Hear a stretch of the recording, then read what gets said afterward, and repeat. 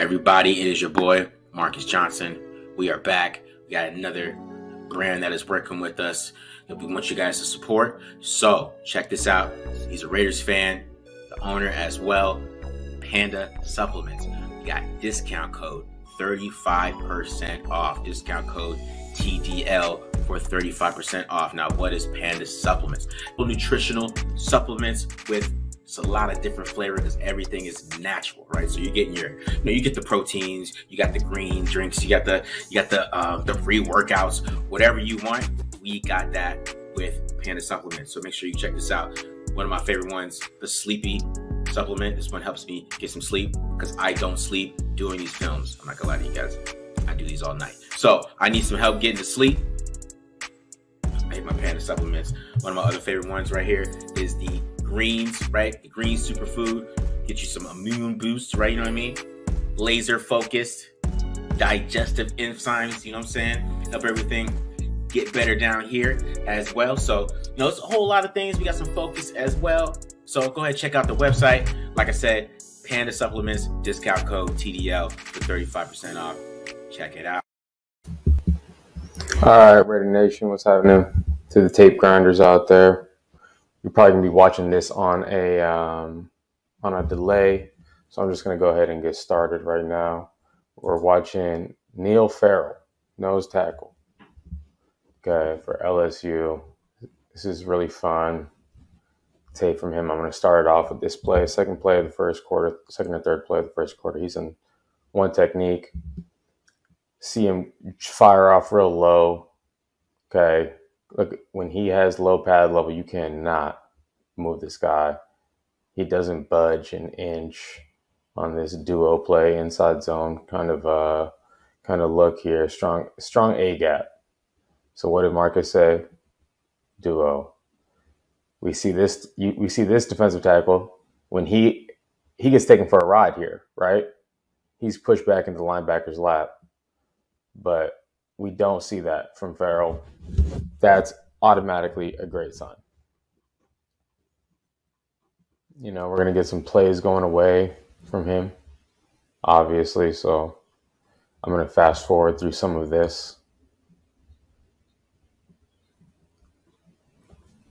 We're going to go ahead and, I mean, there are going to be some times when we see the play go away from him and, you know, um, there's still something to look at. Okay, here's one that I wanted to show you guys. I think there is some upside here as a pass rusher. We see them running a stunt here. So the end goes first, then the tackle afterwards. This is called an exit stunt.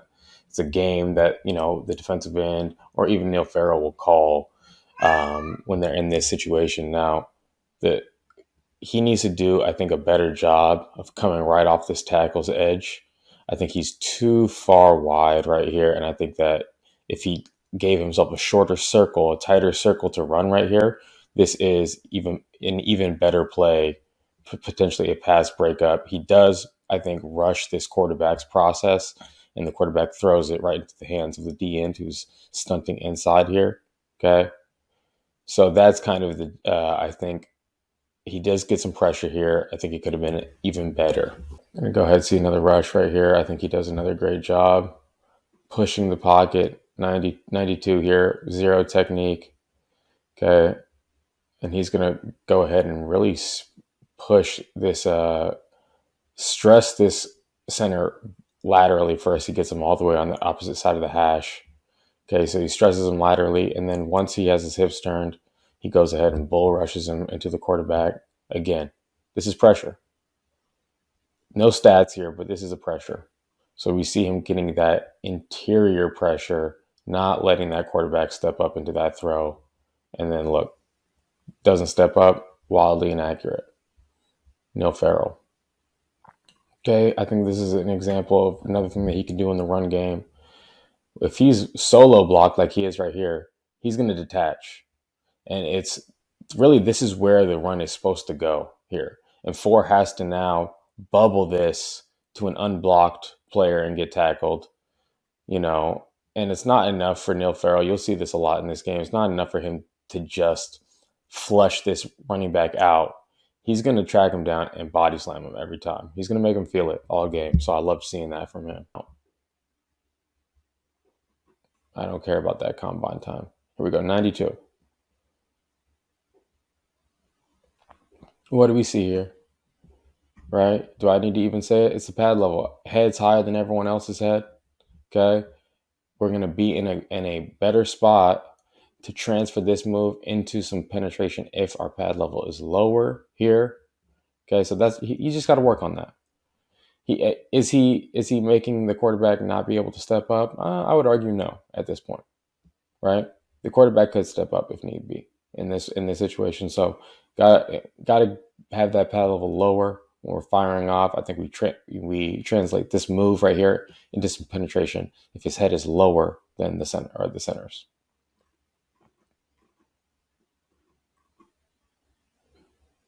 we go 92 he is playing 2i he is going to fire off again pad level so bad i showed this one already on the on the channel sinks his hips, locates the ball carrier, even though we started out. This is a bad position. This is a really bad position to start out and look at him. Gain that control despite being in a terrible position. Read, rip, detach. Look at this. Just lock out, detach. Lock out, detach. This textbook. Beautiful. Sorry, guys, my cat's always bothering me. Um,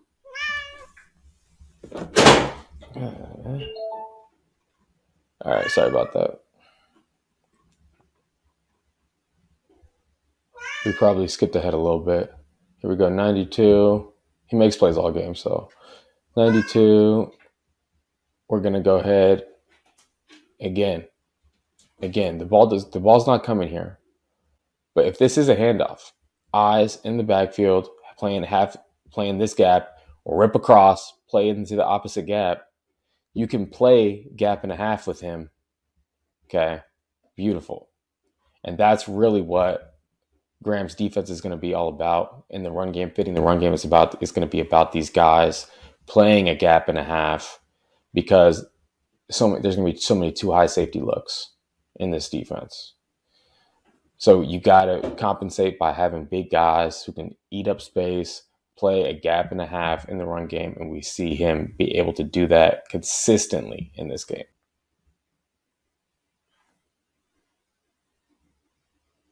Here's another good uh, pass rush rep. Lined up in the A gap, one technique. Okay, has looks like ends up having a stunt because he ends up rushing outside of the guard here. Who gets doubled? Running back realizes, oh, he might have this guy beat here I got to help out. Okay, still, look, contesting this, right? Still contesting this throw. We almost. I mean, maybe, maybe he did actually. Did he deflect this? And yeah, it looks like he did deflect that. So deflected this from one technique, rushing outside of the guard, beating the double team, deflecting the pass, gets thrown out of bounds.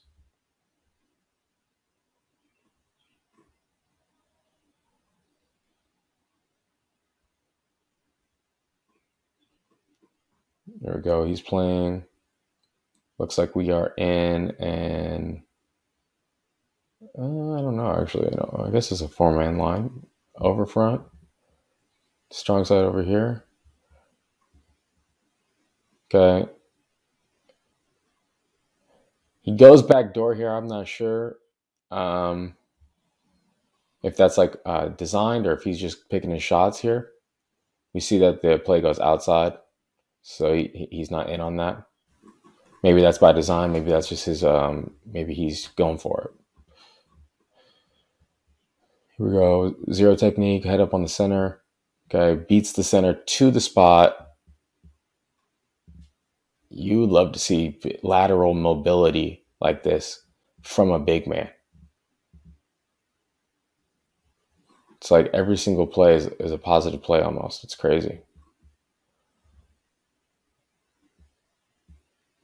Okay. pushes this guy. Like you just see the incredible get off. Okay, incredible get off. He's already he's already attached. He's already forklifting this guy out of this gap. The rest of the defensive line has barely picked their hand up off the ground. They're not even they're not even touching. He's already made contact, and he just drives this center back. He is such a game wrecker here. Here, let me, let's watch this from this viewpoint here. Yeah. I think this